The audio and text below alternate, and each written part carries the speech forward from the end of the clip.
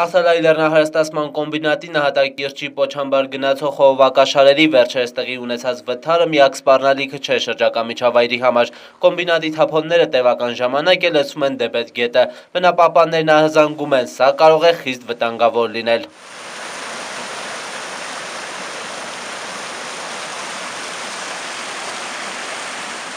Աթալայի լեռնահարստասման կոմբինատի թափոնները պարունակում են պղին, ցինկ, բորիում, մկնդեղ եւ այլ ծանր մետաղներ։ Վերջերս խողովակաշարերի գրանցված վթարներից պոչանքը սպիտակով ներկել էր հարակից տարածքը, ինչպես նաեւ քաղաքի երկրորդ դպրոցին հարող տարածքը։ Բնակիչները նշում են, որ արդեն 10 օր է ինչ սելավատարերով պոչամբարի թափոնները լցվում են գետը։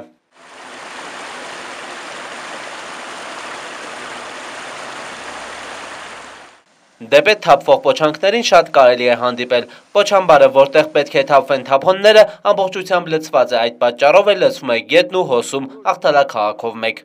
Վաչամատինյան, Էդվարդ Արզումանյան, Մոլորակ, Աղթալա։